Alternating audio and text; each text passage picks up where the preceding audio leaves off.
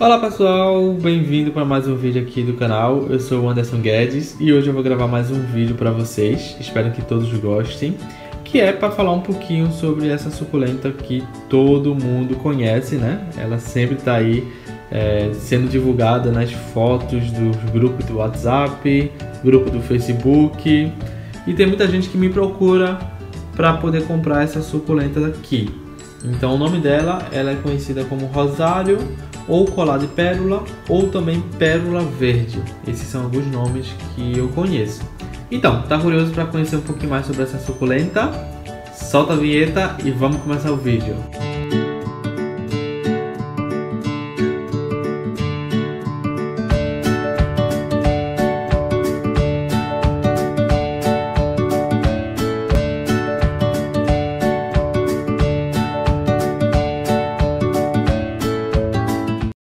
Então pessoal, antes de começar esse vídeo eu já peço a vocês para deixarem um like, curtir esse vídeo aí e compartilhar com todos os amigos de vocês que gostam também de plantas, ok?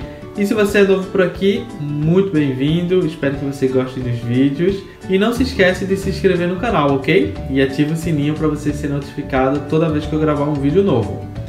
Então pessoal, essa daqui é aquela suculenta que a gente sempre vê né, nas fotos, nas publicações e que muita gente tem vontade de ter essa suculenta, né? Mas ela é um pouquinho difícil de encontrar.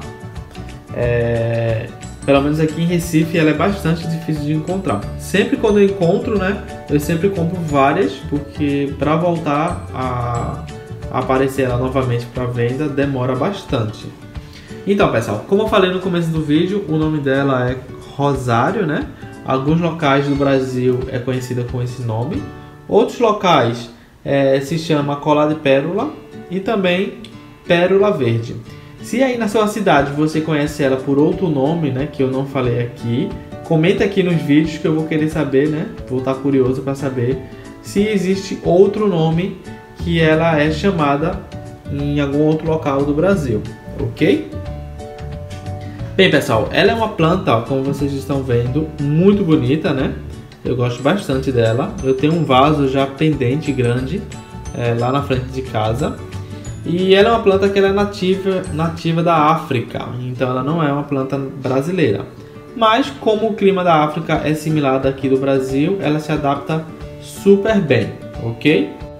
Bem, ela é conhecida com esse nome porque basicamente, né, se vocês observarem, ela é parecida, né, com um terço ou até com um colar de ervilha, porque olha aí as folhas dela como são.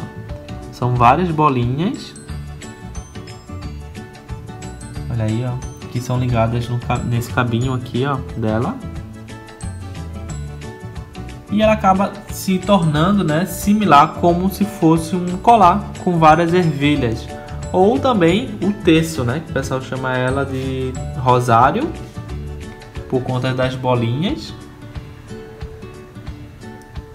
ou colar de pérola. No caso, colar de pérola verde, né?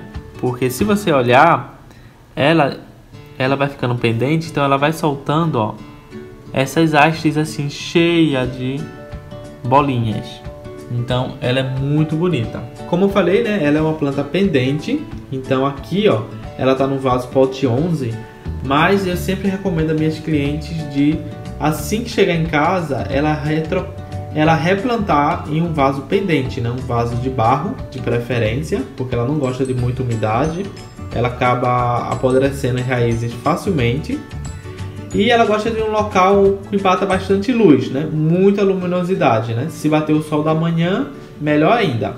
Mas não é aconselhável a gente adaptar ela no sol da tarde, ela não vai muito bem no sol da tarde. Pelo menos a minha, eu estou me dando muito bem, né? ela está se desenvolvendo bastante no sol apenas da manhã.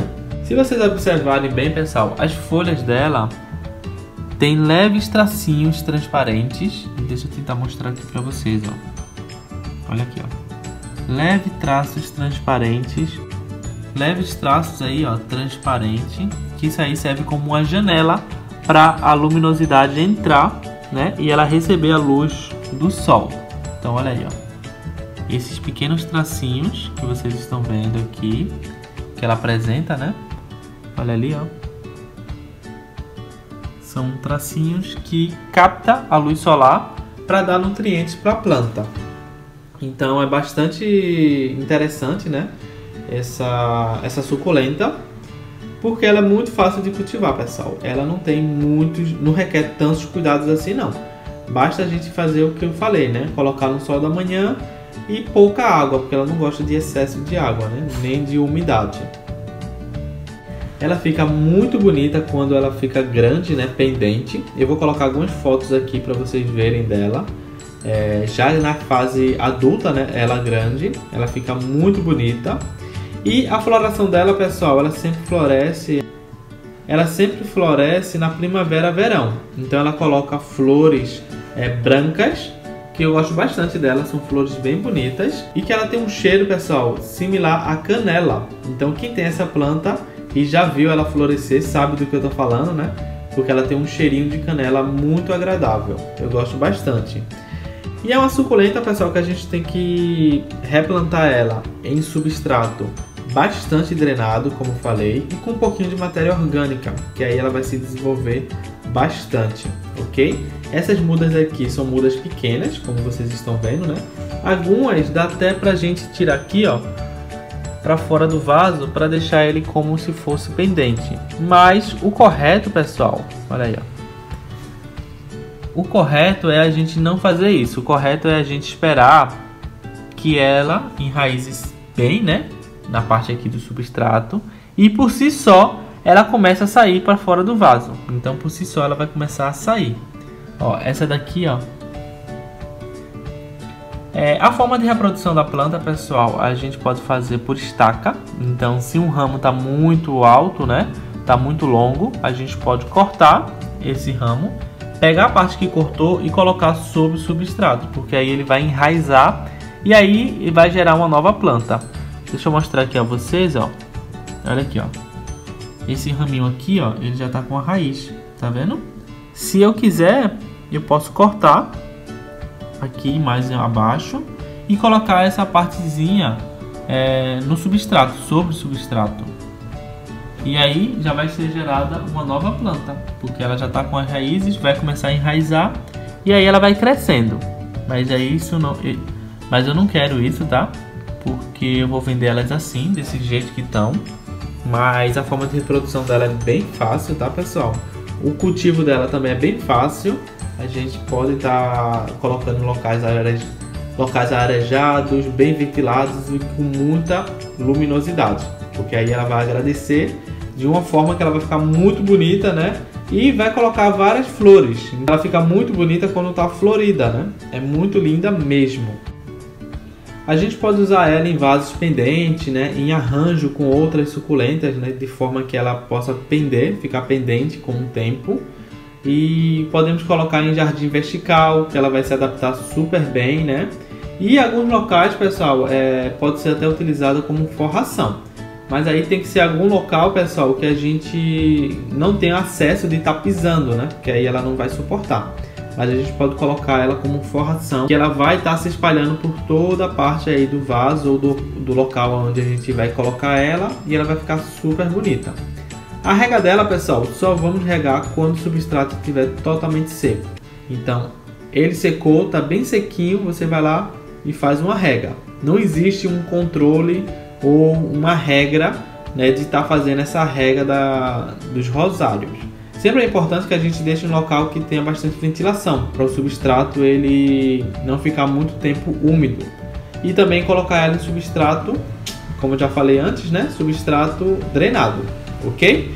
Então o vídeo foi esse, foi apenas algumas informações que eu queria mostrar para vocês. Então é isso, um beijo grande para vocês, espero que vocês tenham gostado do vídeo. Se você gostou, deixe esse like para ajudar na divulgação do canal, ok? Compartilha com seus amigos que gostam de plantas, né? Porque eu tenho certeza que eles vão adorar conhecer o meu canal. E eu vou agradecer bastante a vocês a estar tá divulgando o meu canal para ele poder crescer cada dia mais. Ok, pessoal? Um beijo grande para cada um de vocês e até o próximo vídeo. Tchau, tchau! Olá pessoal, boa tarde a todos, muito obrigado por vocês terem assistido esse vídeo até o final. Se você ainda não deixou o like, deixa aquele like para ajudar na divulgação do meu canal. E se você é novo por aqui, não se esquece de se inscrever aqui no canal e ativar o sininho, porque aí você vai ser notificado toda vez que eu gravar um vídeo novo, ok? Então, um beijo grande e até o próximo vídeo. Tchau, tchau!